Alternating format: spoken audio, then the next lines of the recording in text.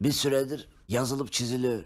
Bana da her gün soruyorlar. Doğru mu? Değil mi? Doğru desem ineklerimin kutsal sütü tehlikede. Yanlış desem tavuklarımı pişirip bir çısı çarşıya gönderecekler. Açıklıyorum yaklaş. Hamileyim. Eminim bunun gerçek olmasını isteyecek milyonlarca kişi var. Ama hala Vegas'tayım yakalanmadım. Şimdi size bu işi nasıl yaptığımı anlatacağım. İyi bir trikağaççı olmak kolay değil. Çocukluğumdan beri Farmville oynuyorum. Le Casa de Papel, Narcos tüm sezonlarını bitirdim. Büyük babam Jet Michael'ın mükemmel bir lafı var. Bana 100 dolar ver ortadan kaybolayım derdi. Bir gün babam ona 200 dolar verdi. Sonra büyük babam bir daha hiç görmedik. Her neyse hadi size sistemi anlatayım. Jennifer'ın 7 tane bitcoin'i var. Bunlardan 5 tanesini Tosuncuğa veriyor. Tosuncuk da ona 4 tanesini geri veriyor. Şimdi soruyorum Jennifer'ın kaç bitcoin'i kaldı? 12. Bilemedi sıfır çünkü Tosuncuk çoktan Vegas'ta.